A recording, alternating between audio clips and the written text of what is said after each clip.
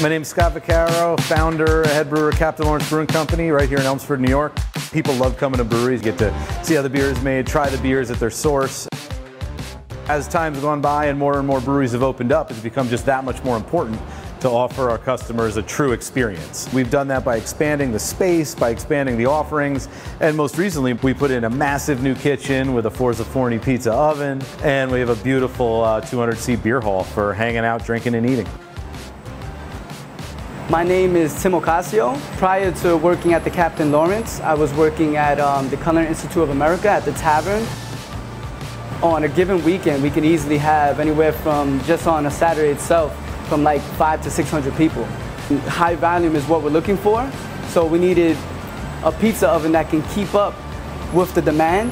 So we went with Forza Forni. We can do a consistent, high volume pizza using their product. This was awesome because it came in pieces, so they were able to fit it through the door. They were able to just, you know, make it super easy and built it to like our space.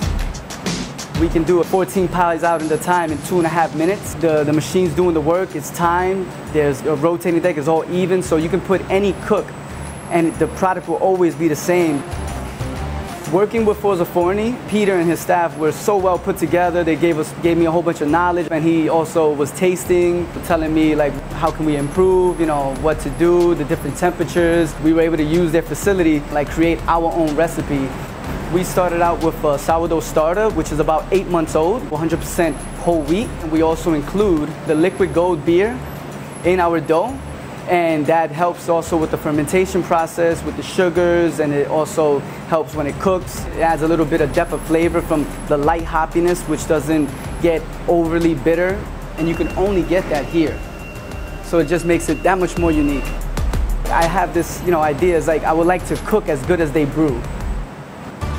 More people are coming into the brewery because we do have a pizza oven. People eat and pair food with wine.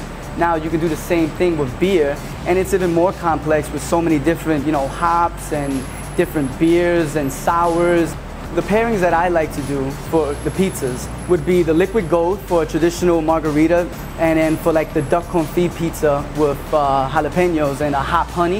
An IPA will go there, sort of cut that fattiness from like the mozzarella, and then you have like the little bit of bitterness from the beer to like cleanse your palate as well. And you can also get a flight of that. It tastes different ones of what you like that goes best with your pizza. Everybody loves the pizza.